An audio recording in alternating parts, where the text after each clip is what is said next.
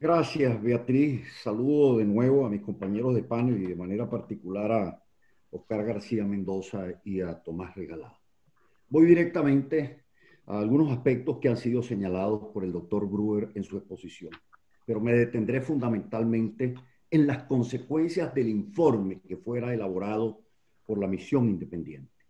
Y lo voy a hacer en términos muy críticos, eh, porque quisiera este, destacar las aporías de manera tal de que la celebración de lo que constituye un éxito político no nos lleve a imaginarnos que desde el punto de vista normativo esto está cabalmente resuelto. Fíjense lo siguiente, cuando se toma la decisión dentro del Consejo de Derechos Humanos, hay un conjunto de considerandos previos en donde se habla de las violaciones en Venezuela, pero dentro de un contexto de crisis política. En paralelo, se dice que los partidos políticos han sido inhabilitados, han sido intervenidos y que hay persecuciones sistemáticas por razones políticas de la propia población venezolana. Se habla en los considerandos de esa resolución de violaciones de derechos humanos dentro de un cuadro de deterioro del Estado de Derecho. Fíjense que el doctor Gruber señala algo que sí está en el informe de la misión independiente no hay Estado de Derecho porque se ha desmaterializado la Constitución y por una razón central. El Tribunal Supremo de Justicia carece de absoluta autonomía. En tercer lugar, hay un hecho que llama poderosamente en este informe, y es que las misiones de seguimiento que han tenido lugar en Caracas se apoyan en dos informes confidenciales elaborados entre la alta comisionada y el gobierno de Nicolás Maduro esos este, memorandos de entendimiento confidenciales no son conocidos en este caso ni por el Consejo ni por la opinión pública. Y al final, el último considerando dice que Venezuela requiere, a la luz de estos crímenes de lesa humanidad, una solución pacífica, una solución endógena y sin injerencia extranjera. No por azar, cuando se va al plano de las decisiones, ocurre una aporía. Se piden elecciones sin demora, exhortando el Consejo de Derechos Humanos a los partidos políticos venezolanos que provean lo necesario para que tengamos elecciones presidenciales y parlamentarias lo más pronto posible en el país.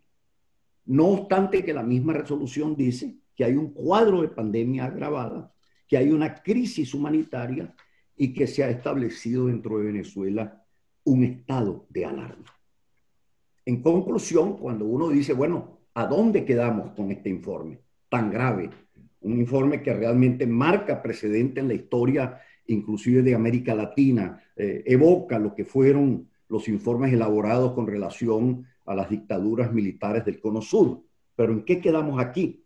Bueno, pide el Consejo de Derechos Humanos que se lleve este asunto a la Asamblea General y que la Asamblea General adopte las medidas que considere pertinentes, enviándolas a los organismos competentes de la ONU que deberían, en este caso, proveer respecto de esos crímenes.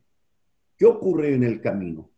Que en un discernimiento muy claro, voy a nadar entre lo que es la maldad absoluta y lo que no lo es, el juicio de valor lo somete el Consejo de Derechos Humanos a un acto electoral y democrático dentro de la Asamblea General de Naciones Unidas, sin hacer una clara invocación ni a la jurisdicción universal de los estados, que la pide la misión independiente, menos todavía con relación a la Corte Penal Internacional.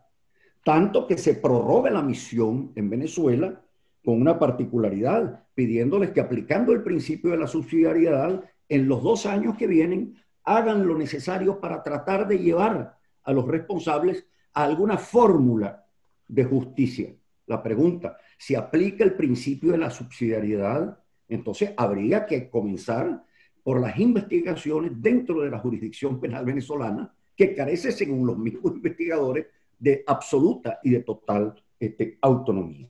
Este, yo concluiría simplemente con esta apreciación, porque eh, recuerdo que cuando se hizo la misión investigadora de lo que ocurrió en Ruanda, el genocidio, eh, en el año de 1994, la conclusión fue que la grave responsabilidad de ese genocidio estuvo fundamentalmente en manos de Naciones Unidas.